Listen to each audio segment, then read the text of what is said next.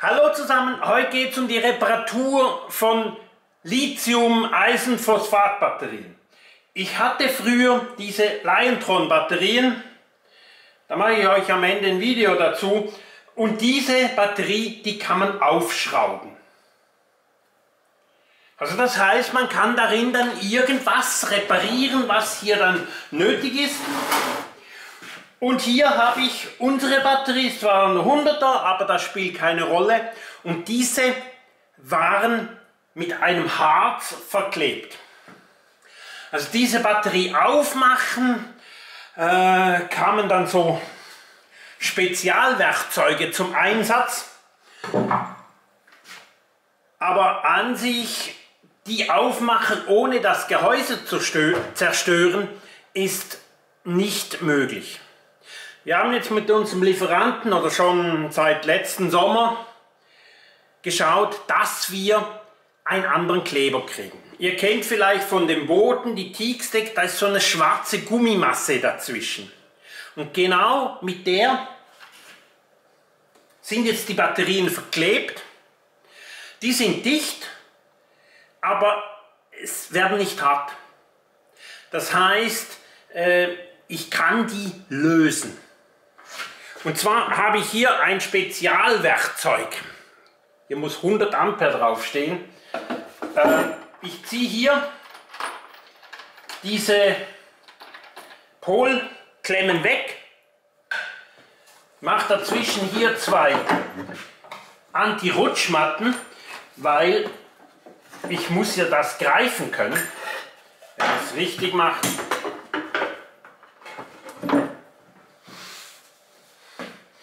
Diese Anti-Rutschmatten dazwischen. Und ich hänge hier die Schraube in die Polklemmen rein. Dann kommen solche Schraubzwingen dazu. Hier ziehe ich diese Bretter an. Machen vier Stück. Dann nehmen wir hier eine Rätsche, ziehen diese Schraube hier oben an. Und ihr hört jetzt vielleicht, da knackt es schon ein bisschen.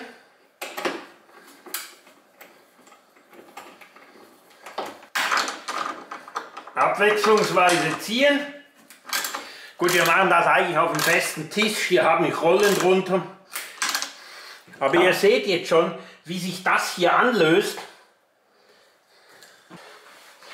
Ihr seht jetzt, das hat sich gelöst, der Pol hat sich... Jetzt habe ich hier hochgezogen, so dass ich hier ein Stück Holz reinbringe, nicht ein Metall oder ein Schraubenzieher, dass ich nicht an die Pole hinkomme, wegen der elektrischen Ladung, sage ich mal ganz frech. Ich habe jetzt hier ein bisschen geschnitten, hier kommt jetzt einfach nur ein Träger drüber. Mit diesem Träger kann ich dann die Batterie anheben, den Deckel auf der anderen Seite.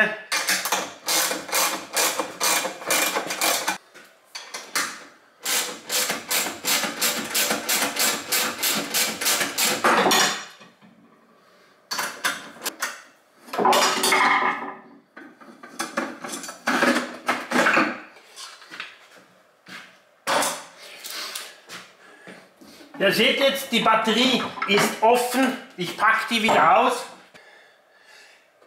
Ich habe jetzt hier noch eine Batterie dazu. Und zwar ist das eine ältere, einer der ersten, die wir gekriegt haben. Hier ist so ein Harz. Und der ist richtig hart.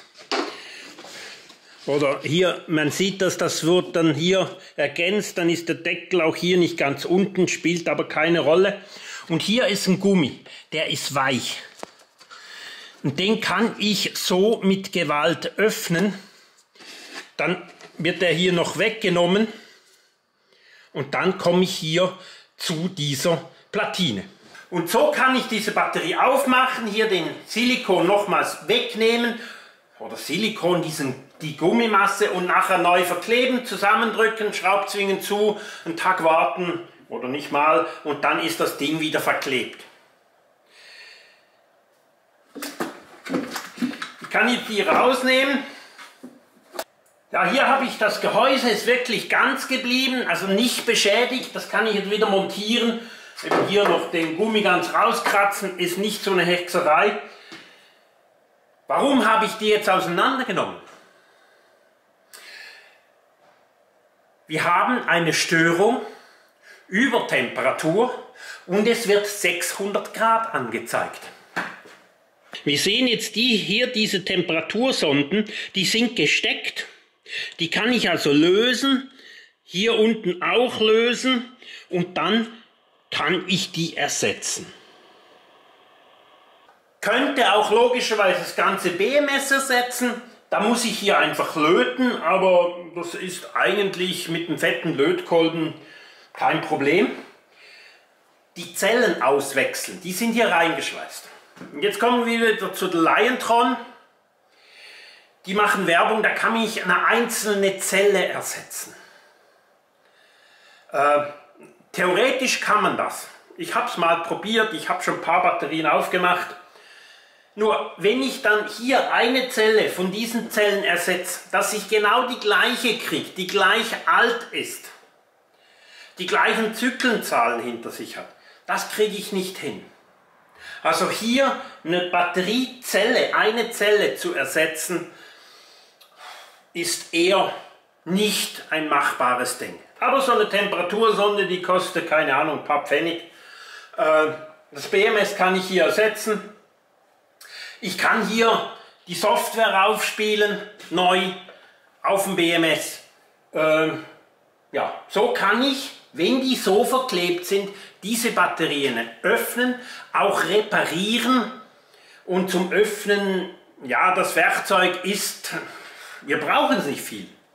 Bis jetzt funktioniert es. Kann man dann noch ein paar Sachen diskutieren, Schraube ändern und so weiter, aber keine Diskussion zu diesem Spezialwerkzeug. Besteht aus ein paar Paletten. Ja, und so kann ich diese Batterien reparieren. Bei der Liontron wird auch Werbung gemacht damit, ich kann die reparieren, aber ich kann auch nur die Temperatur ersetzen. Ich kann zwar da noch das Bluetooth-Modul ersetzen, das ist hier direkt auf dem BMS, da kann ich es nicht separat ersetzen. Also hier ist auch eine nachhaltige Reparatur möglich. Und wir haben jetzt auch ein neues BMS, wo wir die Probleme mit dem Victron Bluetooth Solarregler habe ich ein Video gemacht, verlinke ich euch hier unten. Und hier oben verlinke ich euch das Video, warum ich keine Liontron mehr habe.